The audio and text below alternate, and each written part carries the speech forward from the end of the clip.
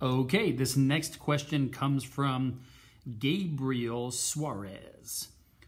Question they asked Do I make a natural life stores brand that is literally natural life products, branded identical as the chain of stores, or do I make a separate brand and make this other brand our house brand that is sold across all locations as the Natural Life brand but is not branded Natural Life?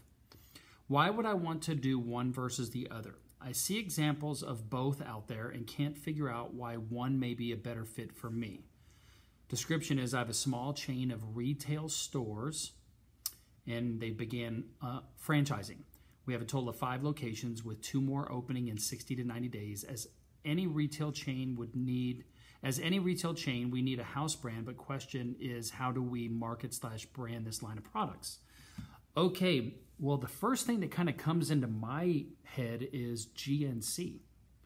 You know, I think GNC might have their own line of products, but then they also resell other line of products.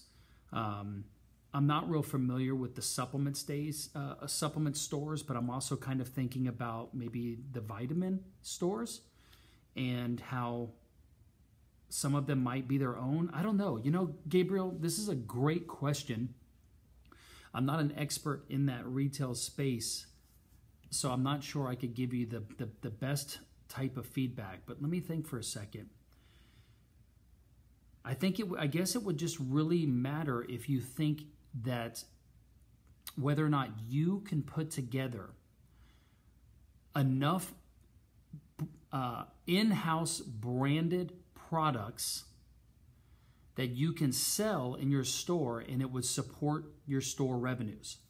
You know, my mind also really quickly, as I was talking, I was thinking about other brands, you know, and Apple came to mind.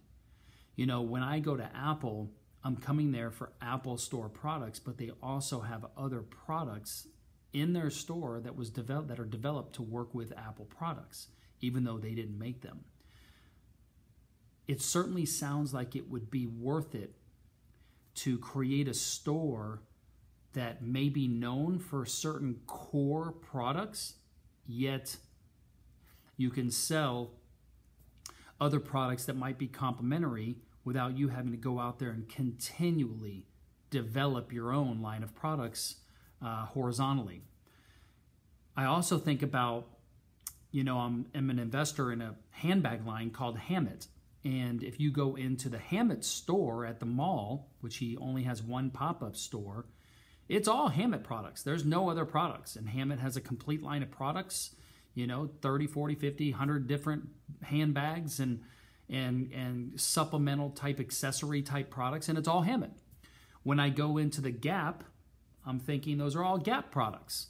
Um, when I go into Whole Foods and I'm going to buy vitamins, I'm you know Whole Foods has their own branded line of products, but they have others.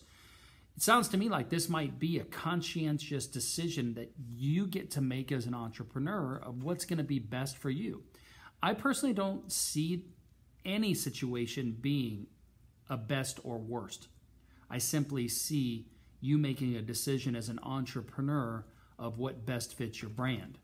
And you're starting to get to a juncture in, in the cycle of your business with five locations and probably lots and lots of different customers where it might make sense to hire a marketing person or a marketing consultant agency to start surveying your existing customers to figure out what they see you as. Sometimes we get tunnel vision as entrepreneurs and we and we lose track sometimes of our customers and what they're what they perceive us as.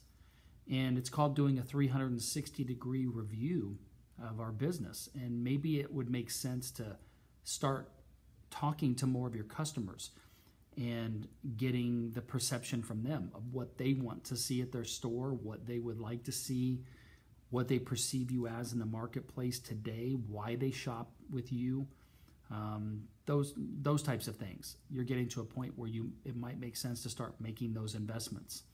Uh, and Paul uh, Schoonover, one of the mentors here in the group, I believe he has a market research uh, department at his company, and he could probably help you with that.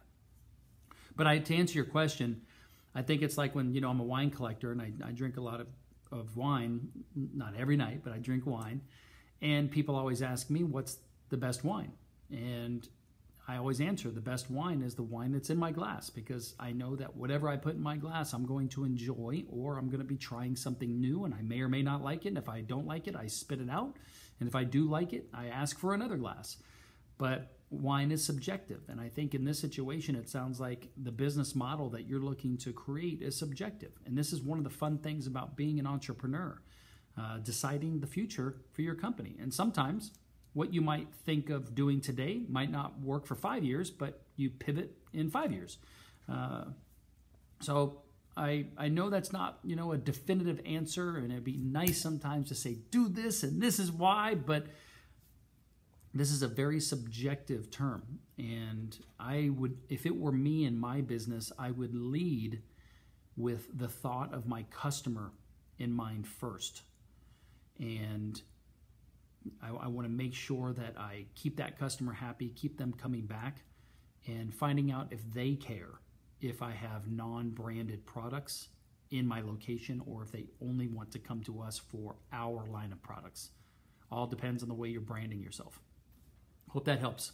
Thanks, man.